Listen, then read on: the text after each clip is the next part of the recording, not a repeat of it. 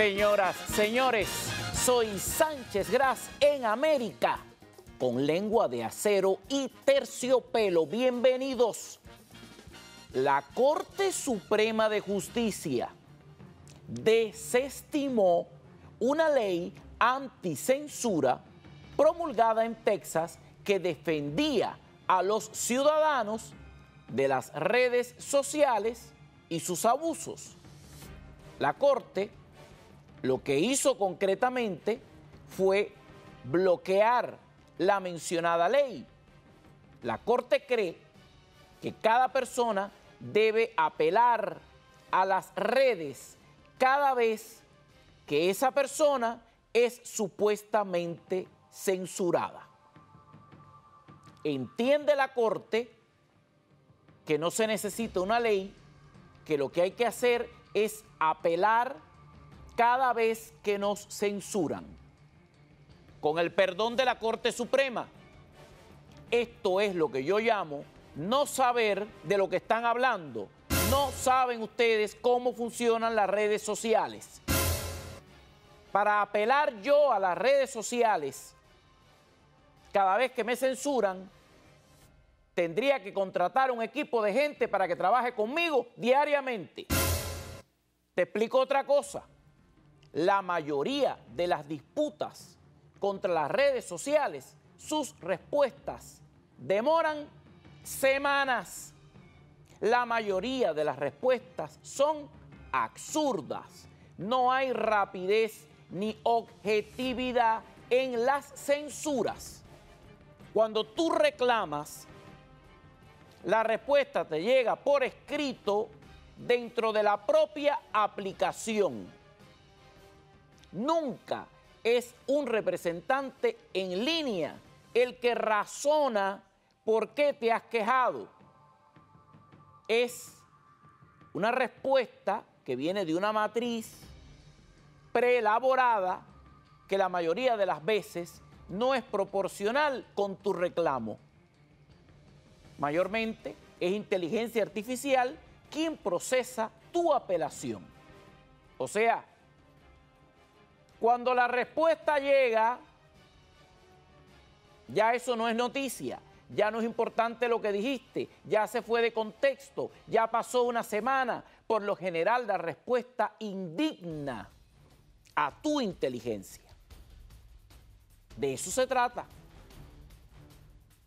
Las respuestas son te censuré porque te censuré. Y dice, eh, la política de privacidad de nuestra red, que no quiere problema con nadie, cree que tu contenido no es óptimo. O lo que es peor, el tono de chantaje bajo, ruin y cruel. No te censuran, pero te quitan toda información comercial para que no ganes dinero, mandándote el mensaje de, tú dijiste eso, tú piensas así, pues si tú monetizas con este post, yo te voy a quitar todos los comerciales para que tú entres por el aro si quieres ganar dinero conmigo. Esa falta de respeto es diaria.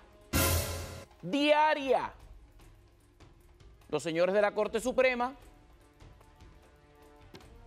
han estudiado tanto leyes que están despistados con el tema de las redes. Les exhorto a buscar un asesor independiente que les explique cómo es. Porque si por yo decir una verdad me mandas a decir te voy a quitar los comerciales, eso se llama chantaje. Y la verdad no tiene precio. Había que decirlo y lo dije de nuevo. Así va la noticia, así lo ven ambas partes, evidencia.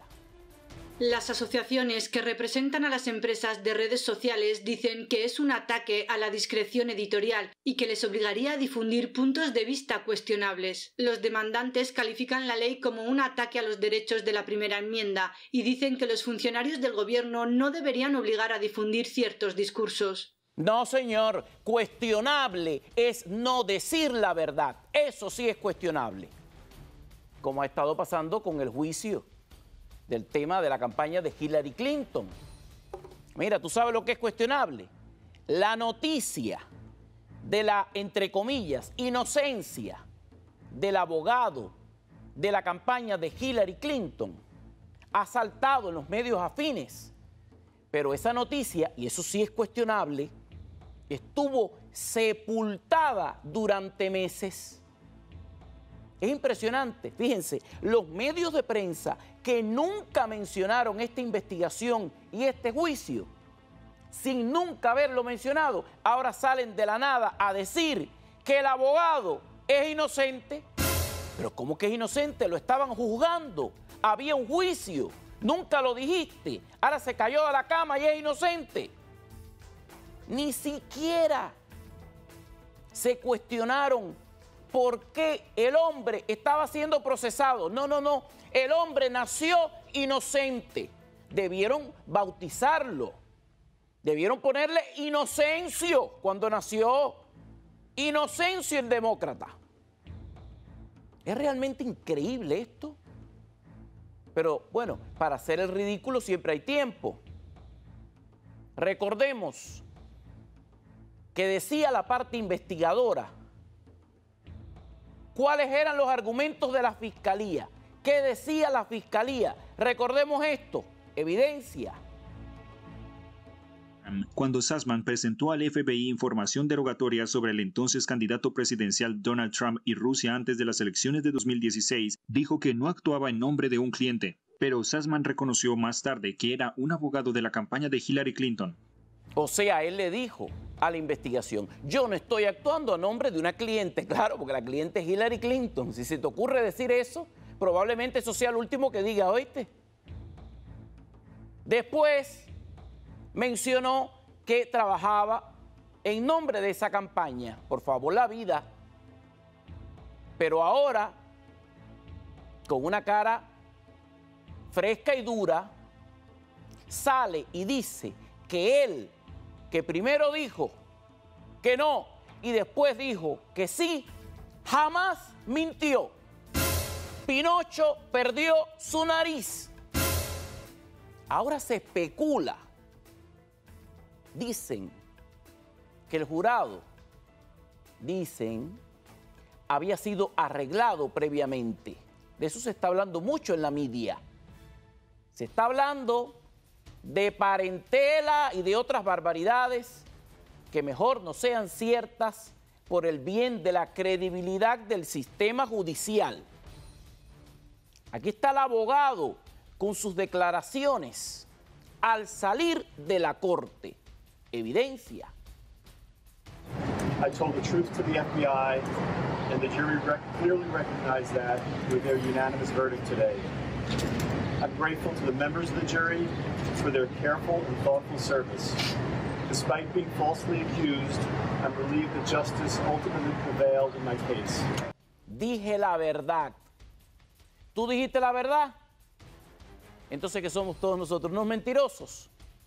No, yo también dije la verdad, por cierto. Realmente, en este caso, fue preciso echarle lodo, por lo visto, al FBI en la corte. Un agente del FBI que prestó declaración hizo un mea culpa. Parecía un pecador arrodillado en el confesorio. Dijo que su agencia, por mi culpa, por mi culpa, por mi grandísima culpa, mi agencia hizo muy mal el trabajo investigativo y bueno, colorín colorado, esto le quitó peso a las investigaciones que estaban sustentando el caso y que estaban bajo registro, bajo declaración jurada del FBI. Pero bueno, ya que es el FBI según este juicio, olvídate de eso.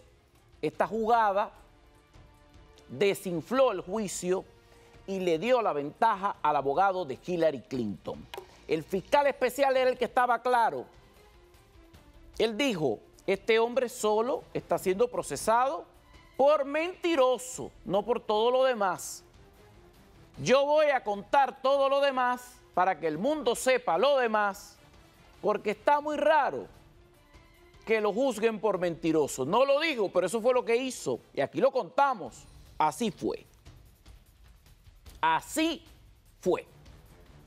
Por cierto, los que se aburrieron ya del tema de desabasto de la leche de fórmula para bebés, porque parece que ya la gente se aburrió porque ya nadie lo publica, déjame decirte algo, no por avisado o porque te hayas aburrido, el problema está resuelto. No. La prensa que aparece y desaparece los temas según la agenda que le interese, no le da seguimiento a este tema porque esto se ve amparado en el hecho de que, por lo visto, una noticia sepulta a la otra. Y aquí nos está diciendo lo que sucede. Yo quiero que vean ustedes un muestreo que menciona cadenas de supermercados y regiones del país que no nos son afines, pero que forman parte del país, para que ustedes vean cómo la situación está muy, pero muy lejos de resolverse. Evidencia. Un portavoz de la empresa afirma que CBS mantiene su límite de compra de tres productos mientras los proveedores siguen teniendo dificultades. El director de Geisler Supermarkets, una pequeña cadena de Connecticut, dice que podrían pasar meses antes de que haya algún cambio en el suministro en las estanterías de las tiendas. Geisler no ha recibido ningún producto de los envíos de la operación Fórmula que llegaron a Estados Unidos hace una semana. Un portavoz de Kroger's dice que la cadena de tiendas de comestibles sigue limitando las compras a cuatro latas por cliente. O sea, el cuento del avión de la leche es el cuento del avión de la leche. Era el avión de la leche, no es el arca de Noé. La crisis sigue. Probablemente en el arca de Noé se encuentre leche más rápido. Me consta. Por cierto, el Comité Nacional Republicano acaba de publicar un video exclusivo para Braver News que detalla la participación del presidente Joe Biden en el esquema empresarial familiar de Hunter Biden. Si bien Biden ha afirmado al menos siete veces que él no tiene conocimiento de los tratos corruptos de su familia, el presidente evidentemente ha desempeñado un papel en el negocio de la familia Biden, al menos según investigaciones consultadas, 12 veces durante los últimos seis años, según está informando este video emitido por el Comité Nacional Republicano. Los mensajes de texto de 2019, las computadoras portátiles del infierno de Hunter Biden revelan el mecanismo de pago de la familia Biden que indica presuntamente una recaudación del 50% de los salarios familiares durante 30 años. 30 años. El mecanismo podría ser el plato fuerte para temas legales y la imposición de cargos por un delito cuyo nombre es extorsión. Extorsión. Extorsión. 30 años de extorsión. La recopilación es demoledora. Te presentamos algunos segundos a continuación de lo que está diciendo en este material el Comité Nacional Republicano. Esto es lo que dicen ellos a través de este video. Esta es la evidencia.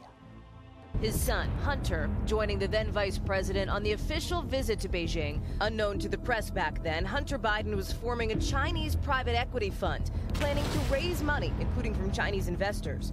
Ten days after the Biden's trip, Shanghai authorities issued the fund's business license. Then Vice President Joe Biden at dinner with his son Hunter, along with Hunter's business associates from Ukraine, Russia, and Kazakhstan. And the day after the dinner, a Burisma executive sent a note to Hunter, quoting, Dear Hunter, thank you for inviting me to D.C. and giving an opportunity to meet your father and spend some time together. Hunter's lucrative business dealings often included giving as much as 50% of his earnings to his dad.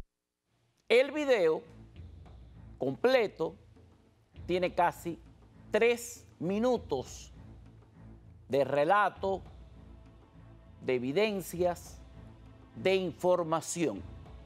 Fue emitido por el Comité Nacional Republicano. Señoras y señores, amanecerá y veremos.